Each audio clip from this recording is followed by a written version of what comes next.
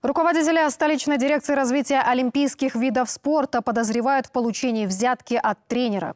Якобы один из спортивных наставников передал ему 4 миллиона тенге за то, чтобы дирекция проспонсировала именно его тренировочные сборы. И это только малая часть выявленных коррупционных кульбитов. В агентстве по финмониторингу рассказали, что столичные спортивные чиновники завышали ком командировочные расходы на сборы и соревнования. Разницу передавали своему руководству. За три года в результате всякого рода финансовых ухищрений удалось похитить около 70 миллионов тенге.